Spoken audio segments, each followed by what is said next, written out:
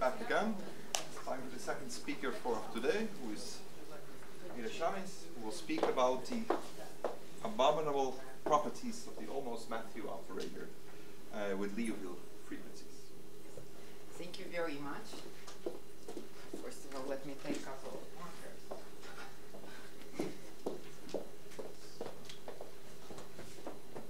So first of all, I would like to thank the organizers uh, for inviting me to this conference. It's a great pleasure here.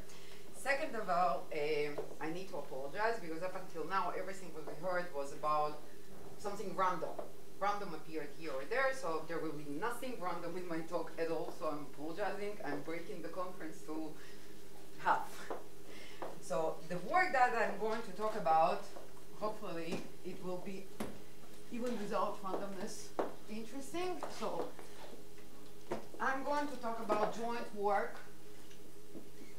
with Arthur Avila, Yoram Last, who is in the audience, and Qi Zhou.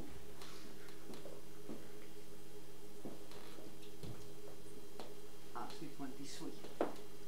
Uh, now, in this work, we study the almost Mathieu operator,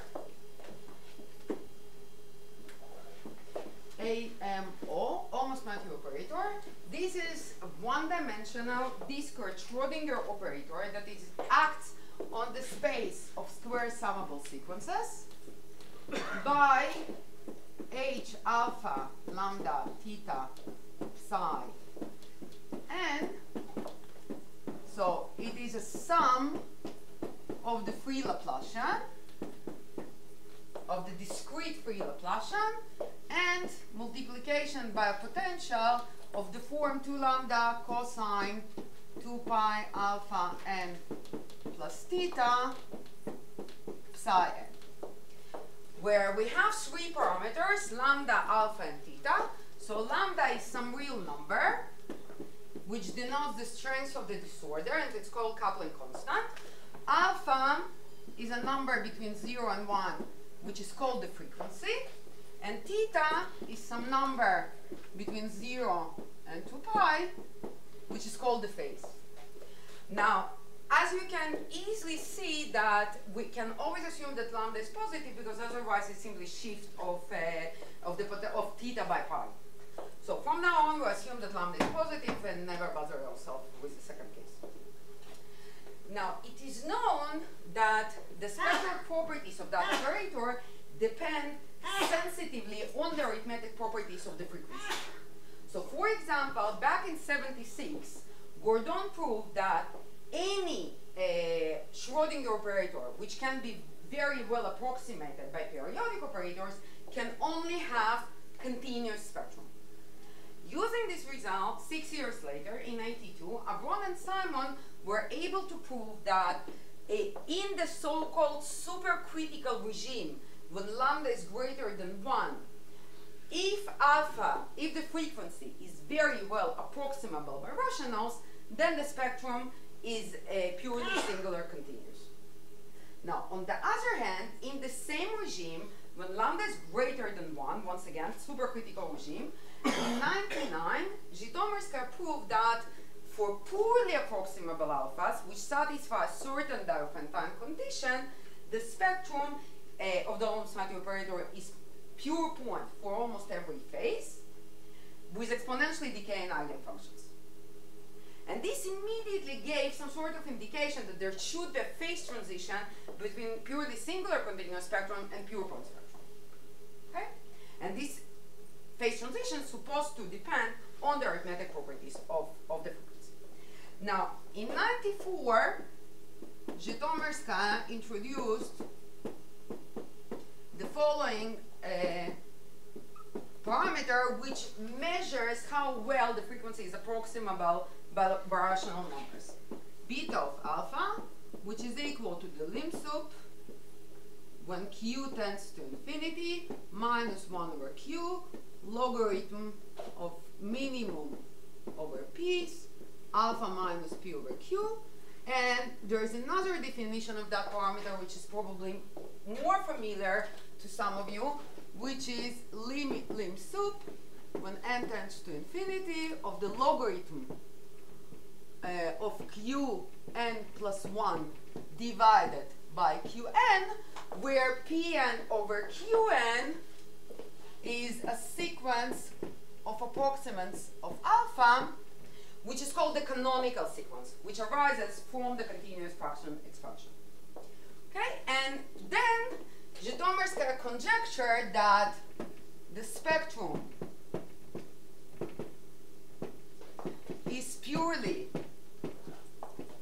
singular continuous if lambda is between 1 including 1 and e to the beta of alpha and it is pure point if lambda is greater than e to the beta of alpha.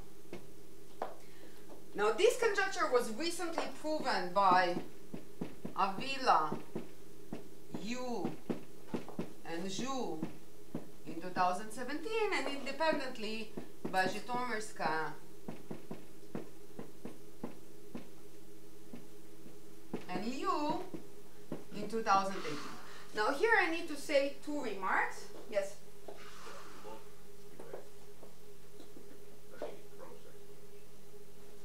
It's no, it's log qn plus 1 divided by qn. That's precisely the point, whether it's an exponential approximation or not. Okay? Now, uh, here I need to say two remarks about uh, what I said that it was recently proven. So first of all, one, my small remark is that case lambda equals to 1, the so-called critical case, was proved uh, long ago. It's, not a part of that. And the second, if we're already in the business of open problems, then what is going on on the critical line e equals to b uh, to the beta of alpha, it is still widely open. It's completely not obvious what's going on on the critical line.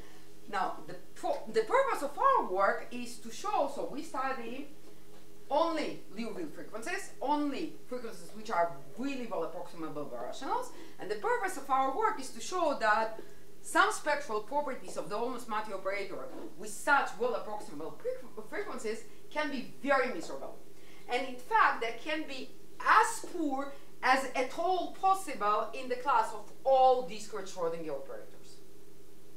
Okay, uh, and one interesting thing uh, in, in our work is that we not only work with the supercritical case, where lambda is greater than 1, but our results are actually valid also for the so-called subcritical case, when lambda is smaller than 1, in which case it is known that the spectrum is purely absolutely continuous for all phases and frequencies.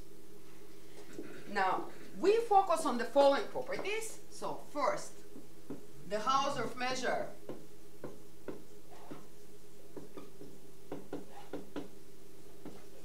of the spectrum. Second, the regularity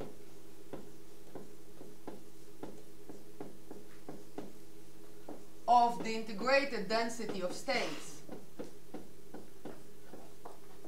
and of the Lyapunov exponent. And third, the homogeneity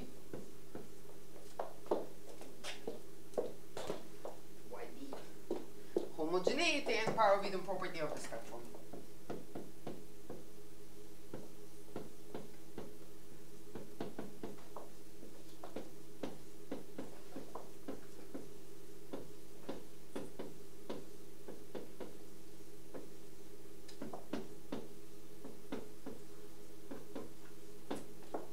And I will start with the um, Hausdorff measure of the spectrum. And in this part of the talk, when I will talk about the of the spectrum, I will concentrate only on the critical case, namely lambda equals to 1. It will be obvious in one second why.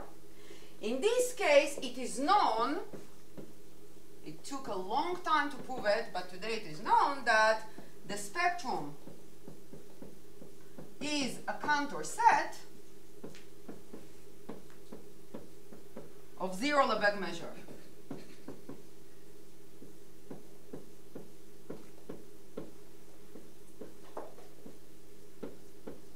Therefore, the question about its fractal dimension naturally arises.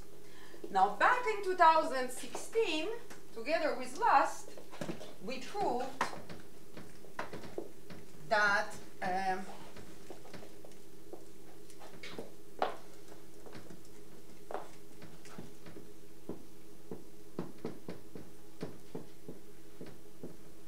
there exists a G delta dense set of frequencies such that the Hausdorff dimension of the spectrum of the critical almost Mathieu operator is equal to zero. Now, we can reformulate this question in terms of, of the Hausdorff measure, but first let me remind you the definition.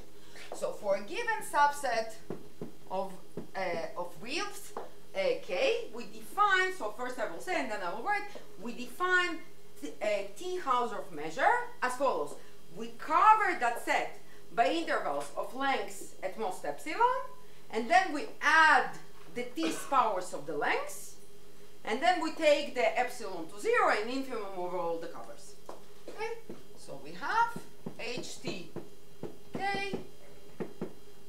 A limit when the size of the interval goes to zero, infimum over all the covers, sum uh, of the j powers, uh, of the t's powers of the lengths, where k is covered by these intervals and the length of the interval bj minus aj is at most epsilon. Okay? And then one can easily see that the Hausdorff dimension of a set is zero if and only if T Hausdorff measure of a set is zero for all positive T's. Okay? And uh, there are more examples of, spec of uh, operators with uh, with a thin spectrum, the spectrum zero Hausdorff dimension, and you, if you wish, you can see it in the paper by recent paper by Damanik and Fillman from 2020. So other examples with zero Hausdorff dimensional spectrum. Okay? Now, the natural question that we address here is the following. Can we replace this T's power by a more refined scale of a gauge function? Okay? So, but for that, first, let us introduce what we call omega Hausdorff measure of a set, in which it's the same precisely definition, but for a given uh, for a given function omega, we simply instead of applying these powers to the length, we apply function omega to the length. Okay? And this we call omega Hausdorff measure of a set. And then um, it turns out that actually the right scale is not the Hausdorff dimension, is not a T a Hausdorff measure of a set, but actually the right scale is the following function. Which just shows how thin the spectrum of the almost Mathieu operator is. So the correct scale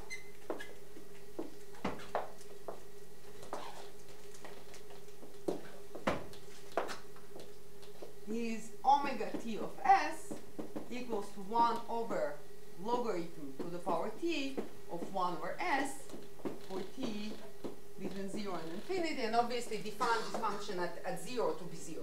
Okay? Physically define it at 0 to be 0. Now, it is known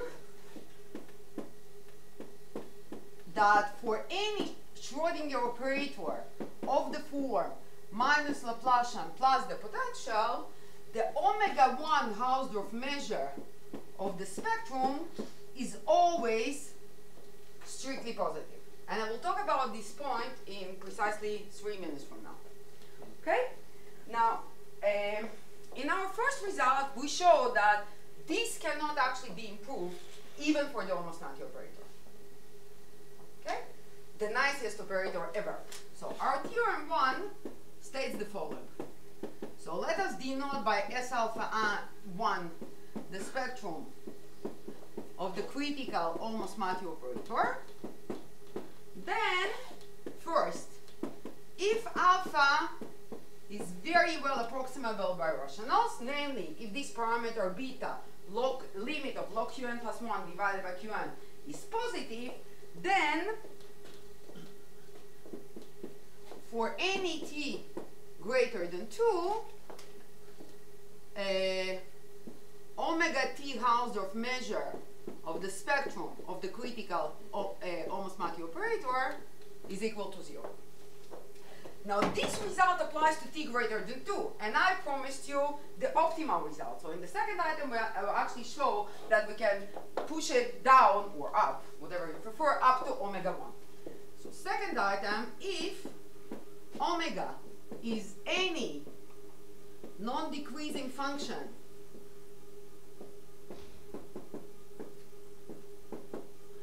With 0 at 0 decaying faster than omega 1, let me write it down.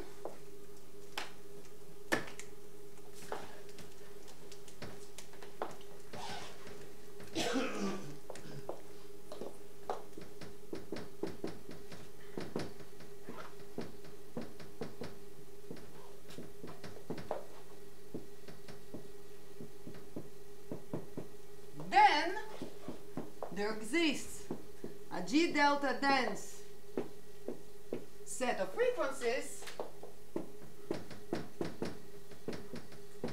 such that omega Hausdorff measure of the spectrum of the almost Mathieu operator is equal to zero. Namely, we go completely down to the omega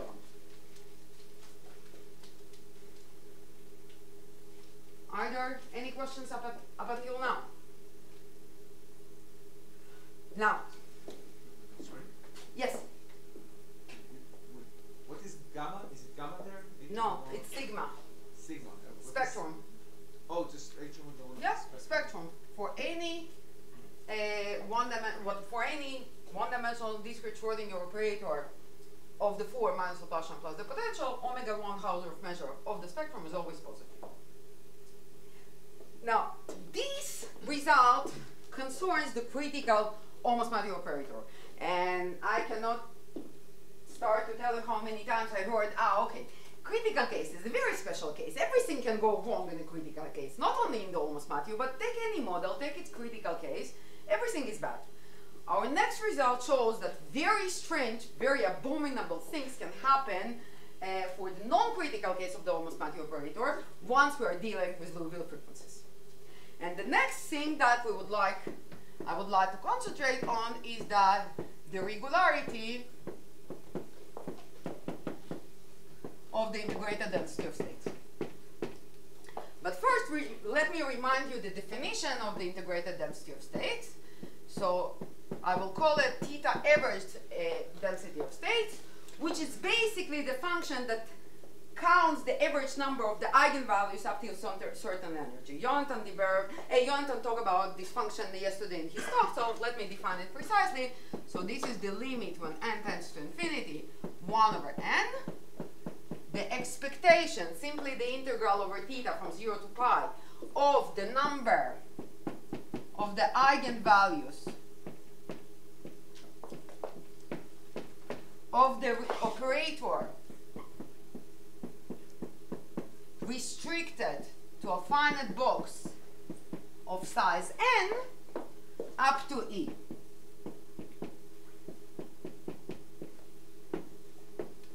And this applies for any alpha, whether it's rational or irrational. However, when alpha is irrational, then we can get rid of uh, this expectation, and uh, uh, it, it, it, the same is true for the pointwise limit. Okay? Now, we want to know how continuous the integrated density of states is. And for that, we define a class of functions. So as before, let me first say what I'm going to write and then I will say it. We will denote by UC omega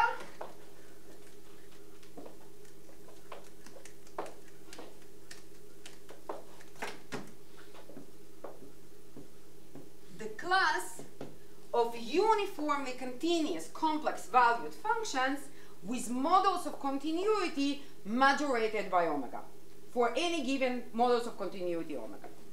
So all f complex valued, uniformly continuous.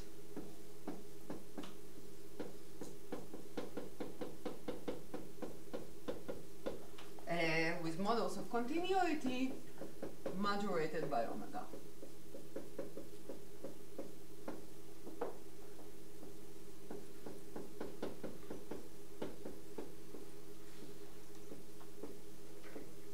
Okay? Now, classical result in potential theory, which is called Frostman's lemma, uh, shows that if a set has small Hausdorff measure, then it cannot support any regular measure. and the opposite direction actually not necessarily true. So uh, basically, then we can conclude that if the Hausdorff measure of the spectrum is zero, then the integrated density of states must be irregular. Okay? Now, Frostman's lemma, to be a little bit more precisely, says that the set has omega positive omega Hausdorff measure if and only if there exists a regular measure supported on that set with exactly that uh, modulus of continuity omega. Okay? So corollary from Frostman's lemma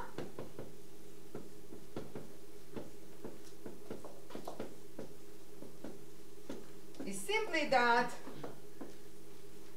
if spectrum is of omega of zero omega Hausdorff measure, then the integrated density of states, corresponding integrated density of states, cannot be uniformly omega Hölder continuous. Okay? So for example, for a set of alphas from our work with Last, we immediately can conclude that the integrated density of states is not uniformly uh, Hölder continuous for any positive exponent. So in our case, omega is simply equal to s to the t. Okay, so it's not uniformly Hölder continuous for any positive exponent. Now, back in 83, Craig and Simon proved that, and this will go for that, which is very good. So I will raise that theorem and write below that. And then combination with the Frostman's lemma immediately will explain you these points. So Craig Simon, 83, they proved that for any ergodic Schrodinger operator,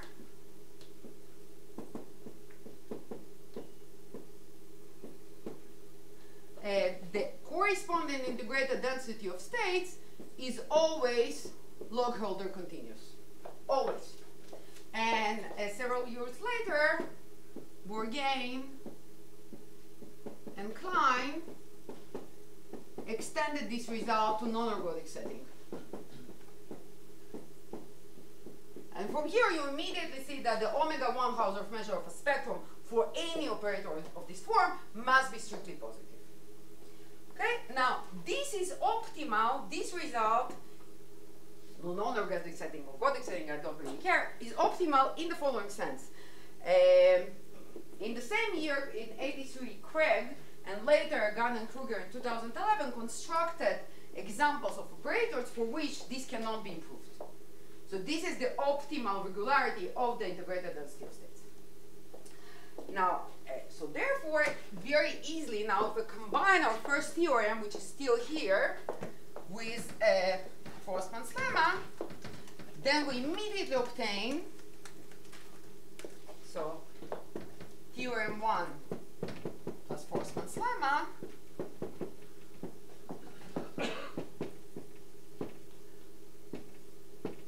tells you immediately that uh, log Hölder continuity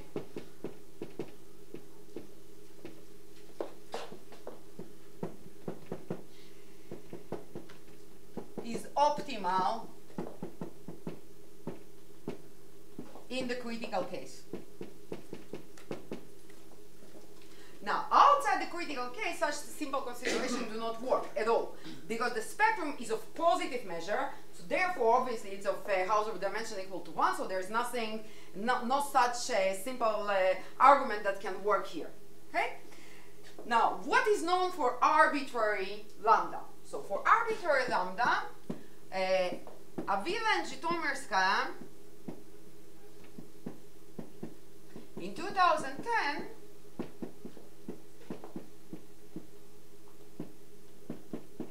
pointed out that for Baire generic alphas,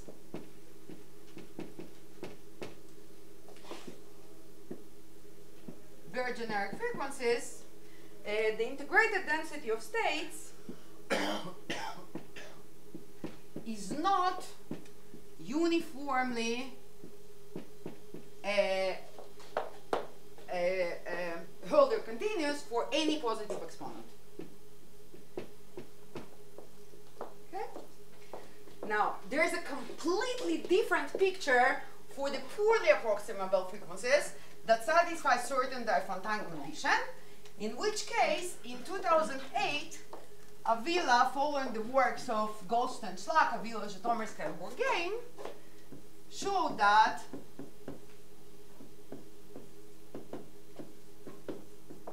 if alpha is poorly approximable by rationals, namely satisfy certain namely this parameter is equal to zero, then uh, the corresponding integrated density of states is always uniformly half Hölder continuous outside the critical case. And obviously not, not equal to zero. Now, uh, in our next result, we show that when we're dealing with uh, Liouville frequencies, log Hölder continuity is actually optimal for any positive lambda. Not the critical case, but for any positive lambda. So our second theorem states the following. We have three parts. So first, if lambda is between e to the 2 beta over 3 and e to the minus 2 beta over 3, then the integrated density of states is not uniformly omega t Hölder continuous for any t greater than 3. Now, second item, it's not yet the optimality that I promised you. In second item, we show that if we restrict a bit our assumption and make alpha be, uh, lambda between e to the beta of alpha over 2 and e to the minus beta of alpha over 2, then the integrated density of states is not uniformly omega t Hölder continuous for any t greater than 2. And now the last push up to omega 1 is done precisely in the same way as in first theorem. So if omega is any non-decreasing function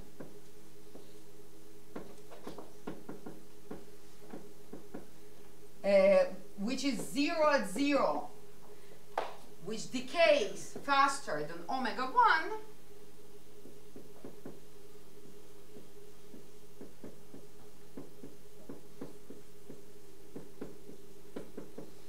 then, and I will simply add in the previous statement,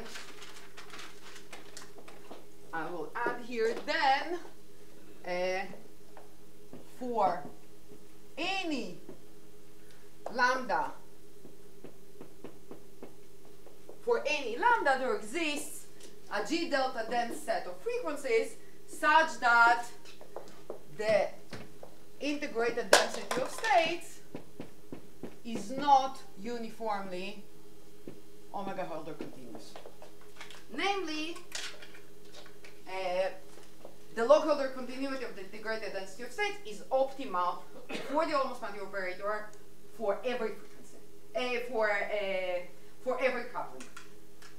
Okay, in our in in the regime of arbitrary positive coupling. Okay. Now, to the best of our knowledge, these are the first examples of operators with almost periodic potentials with such low regularity of the integrated density of states. And once again, an interesting feature of our construction is that in the so-called subcritical case, when lambda is smaller than 1, the spectrum is purely absolutely continuous for all phases and frequencies. And moreover, as it follows from the work of Avila and Damanik from 2008, the integrated density of states is absolutely continuous. Okay? Now, these results imply very similar properties for the Lyapunov exponent. So if you don't know what the Lyapunov exponent is, just ignore me for the next two minutes. You can think of the Lyapunov exponent as of a quantity which measures the exponential, it depends what you like more, the exponential growth or exponential decay of the solutions. Okay, and uh, the Lyapunov exponent is connected tightly to the integrated density of states. We've seen, uh, Jan mentioned this in, in his work, uh, by a very famous formula which called uh, formula, which goes back to the work of uh, Herbert, and Jones. Now, there is an argument in the paper of Goldstein and Schlag that allows to connect the regularity of the integrated density of states to the regularity of the Lyapunov exponent. The problem is that their argument does not formally cover our omega. So we needed to generalize it a bit. So, and after we generalized it, we have the following statement for the Lyapunov exponent.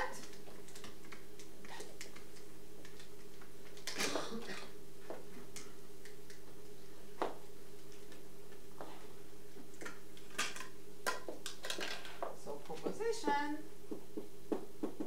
for any t greater than 2, if the integrated density of states is not uniformly omega t Hölder continuous, then the corresponding Lyapunov exponent is not uniformly omega t plus 1 Hölder continuous. So all these results hold also for the Lyapunov exponent if you simply increase uh, t by 1. Now, our last result is motivated by, by the inverse spectrum problem for quasi-periodic operators, and I will not, I'm telling in advance that I will not go into too many details here. So, but what is the problem? So the question is as follows. Given a compact subset of the real line, one can ask what are the spectral properties of Jacobi operators whose spectrum coincides with that given set, with that given compact set. Sodin and Yuditsky studied this problem in back in 95 and 97 in the class of Jacobi operators with almost periodic potentials. And they proved that if the spectrum is homogeneous, which I will define in uh, five, three minutes from now, and the diagonal elements of the corresponding resolvent operator are purely imaginary on the spectrum, then the operator is almost periodic. That was the result. Now, uh, to the best of our knowledge, these and all the following works on the inverse spectral problem required either homogeneity of the spectrum, which means that it is not too meager near any point, or uh, uh, some uh, other weaker, much weaker condition, which is called the Parreau-Widom property, which basically says that the space of analytic function on its complement is sufficiently rich. Okay? Now, and then it's very natural to ask, does the homogeneity, or at least the Parreau-Widom property, hold for simple quasi-periodic operators? For example, for the almost Mathieu operator, what can be simpler than that? And surprisingly, the answer is no. So uh, let me first remind you the definition of uh, homogeneous in the sense of Carleson set. So we call set homogeneous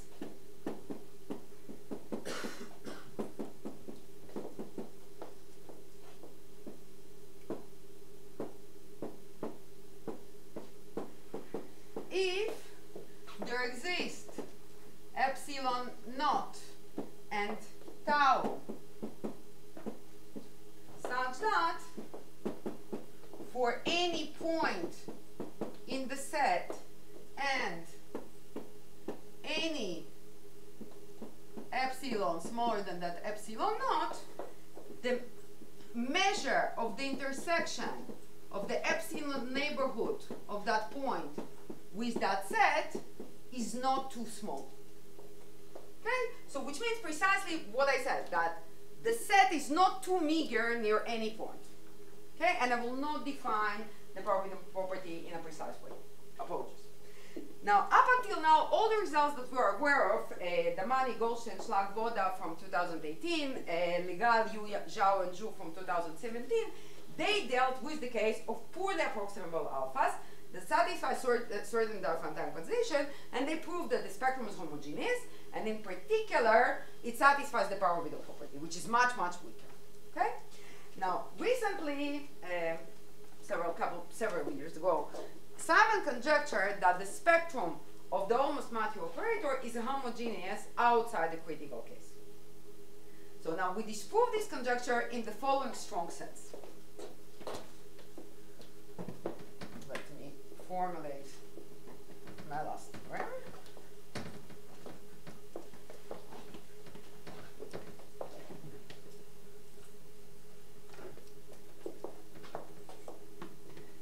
Maybe I will have to draw three pictures to explain you the proof. So our last theorem says that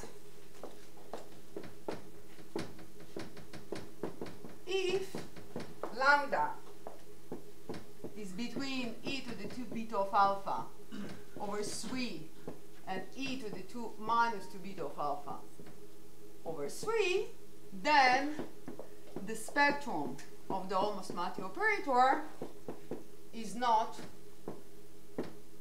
homogeneous.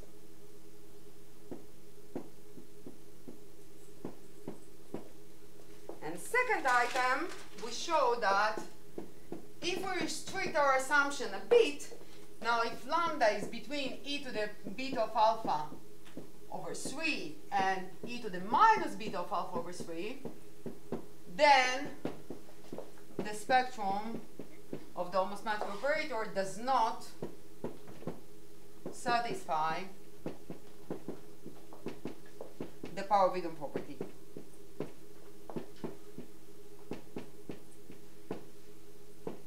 Okay?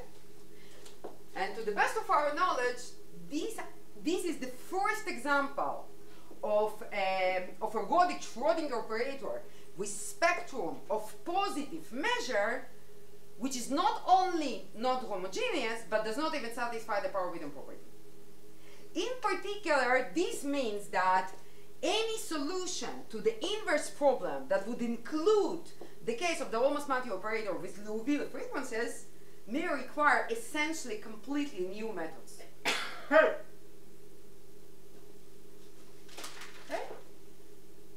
Are there any questions?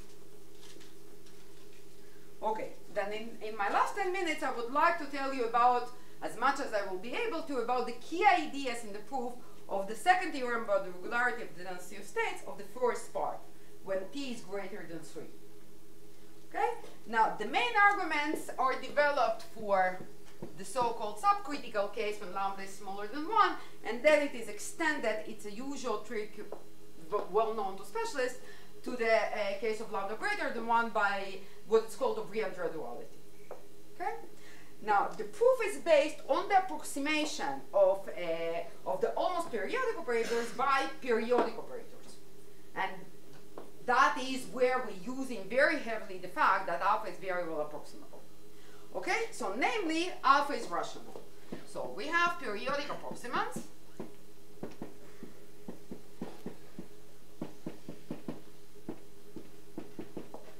So let us denote for fixed P over Q and fixed phase, fixed rational frequency and fixed phase, let us denote by sigma P over Q theta the spectrum of the almost Mathieu operator uh, with this phase and this frequency. Now, we from the Bloch, from the well-known Bloch-Floquet theory, we know precisely how this, uh, how this, uh, uh, how the spectrum looks like. It is a union of Q closed intervals which are called bands, that are separated by gaps. So these bands can uh, touch by the edges, but they cannot ever overlap, okay, for an individual theta. Now, first thing that we show is that the length of these bands cannot be exponentially small in Q. So this is the first thing that we show.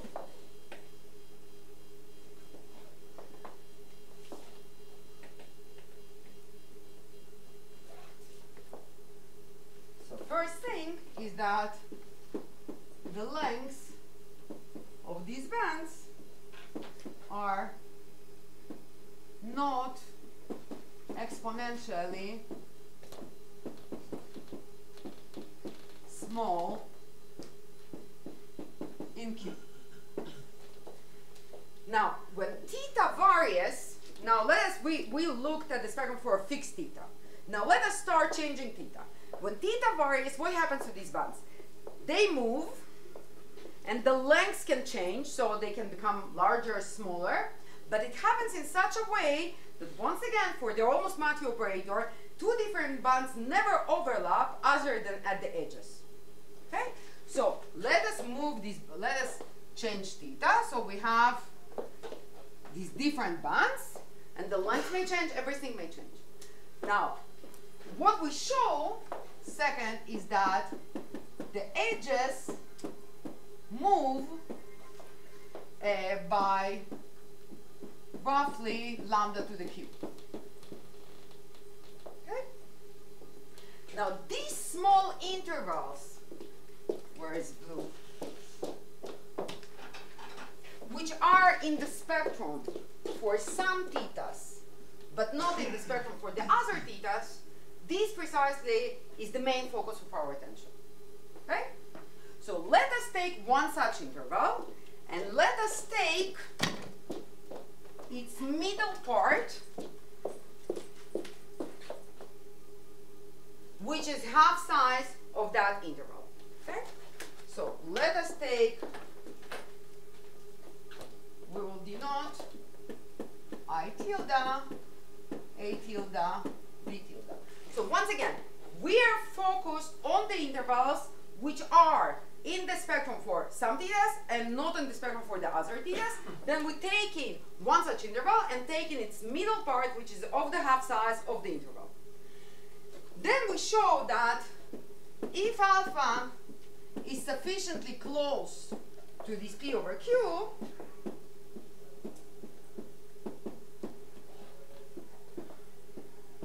then the integrated density of states of the almost uh, periodic operator satisfies, admits the following lower bound.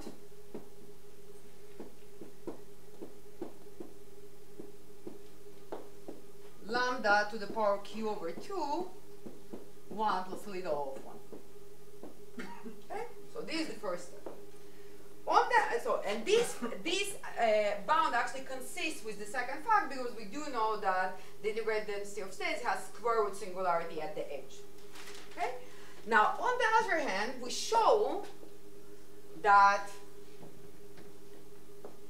if, once again, alpha is sufficiently well approximable by rationals,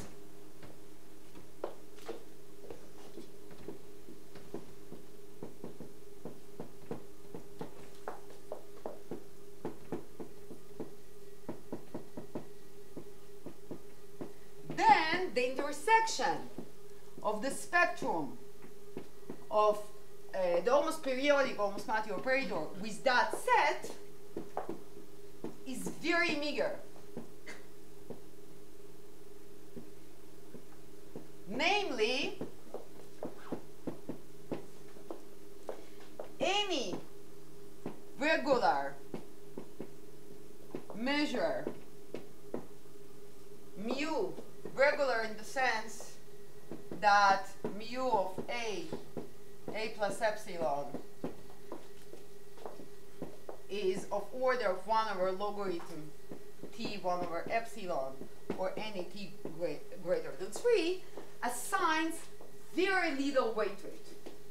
Namely, mu of a tilde v tilde is bounded by lambda to the q over 2 times t minus 2 plus little of 1. And as you can see, let me put it like that because there are some constants, this bound, this upper bound contradicts this lower bound, so therefore the integrated of states cannot be regular. So this whole proof is by contradiction. So let's assume it's regular. Then we have the lower bound in any case, and then any regular measure will have to obey this upper bound, and therefore there is a contradiction to that lower bound. Now, uh, let me tell you about lower bound. I will not have uh, time for the upper bound, but for the lower bound I will have time because I think that there is one uh, statement which is of independent interest. So how do we obtain uh, the lower bound? So first of all, we work with periodic approximations. So first of all, we obtain that lower bound using all the known techniques for uh, an for the integrated density of states with an individual theta which belongs to a large set. And then we show that the same lower bound, which is that lower bound, uh, the uh, theta average integrated density of states, meets the same lower bound. And now, so we are still in the framework of the rational numbers. So now we need to pass from the rational number to the irrational number. So which means that we need some sort of continuity, some sort of statement of the continuity of the integrated density of states as a function of the frequency. And this we prove in a, quite a general setting, and I think it's, it is of independent interest, and I will formulate it here, and this is how we achieve the lower bound. For the upper bound, I will need another 10 minutes, which I don't have. So for the lower bound main statement is the following completely general statement. So let us look at almost periodic operator, general almost periodic operator.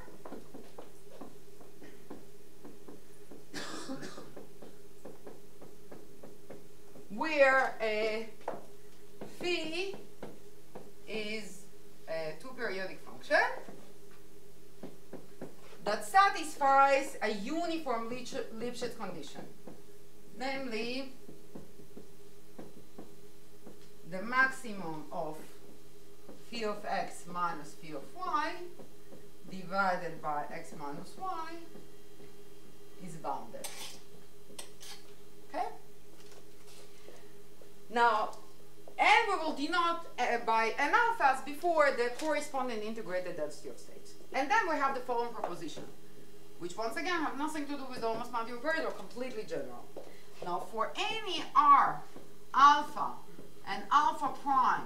Real numbers, and for any L greater than 1, if k is greater than or equal than 2 pi times the Lipschitz norm of the function phi times the difference between alpha and alpha prime times L, then the integrated density of states that corresponds to the alpha prime at the point R is smaller than or equal than the integrated density of states that correspond to alpha at the point R plus K plus an error of order 1 over L. And when, when we apply it, so this k is approximately lambda to the power q, and this L is approximately uh, lambda to the q divided by the, the, distance between alpha and p over q. This is how it, it is applied. So once again, the lower bound is achieved first using the standard things about the periodic operators, and then at the last step, when one needs to pass from the periodic case to the almost periodic case, we need a continuity statement, continuity in alpha, and we prove that general proposition, which closes us the deal. And that's how lower bound is proved. And I will stop here. Thank you very much.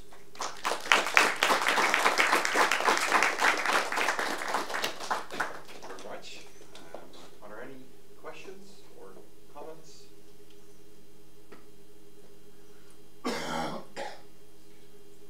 yeah, buddy? So what, what's uh, about these uh, terrible about available properties if we could go over to the random case? To the random case. Yeah, the random, random. Oh, I need to think about it. I don't know. the, the density, but I think the density of states, there is no such interplay. I, I mean, the density of states is very nice in the random case. So there is no interplay there. You, you don't have any parameter except for the coupling constant to play with. So you only have coupling constant. Here you have this, this luxury of playing with three parameters at the same time. Change the distribution. And, Yeah, but- so there's lots of parameters. But yet again, but yet again, so Uh, the density of states is not uh, is not really depends on the distribution, that, at least the I don't know, continuity. if you No, the the heavy outer dimension depends, so you can make it really bad. So make the Yeah, but- dimension arbitrary small. So, so the question is, uh, so your question is, can there be a random Schrödinger operator with such a low regularity of the density of states as, as log Hölder? Yeah. I don't know. That's, that's a That's a very nice question. I don't know. I, I can tell you one thing. Uh, before I started to work on that, I, I spoke with uh, Tom Spencer, and then he told me that.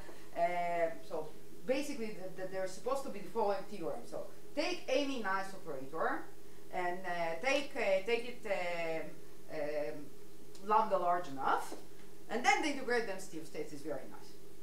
And then I brought the example of the critical almost Mathieu and I said, okay, okay, no, no, this is cheating because the Lyapunov exponent is zero. Yeah, it's not purely absolutely continuous spectrum, but still it's zero. And then I said, okay, let me think. And then he went and he said, okay, the conjecture should be, let us take any nice ergodic operator, let us take lambda large enough so that the Lyapunov exponent is positive. And then the integrated density of states will be nice. And I disproved it with that. so, no, I mean, in, when, once you are in the quasi-periodic setting, you can play with so many, uh, that's why I love this business, you can play with so many parameters and you can either make it very nice or make it very, very, very bad.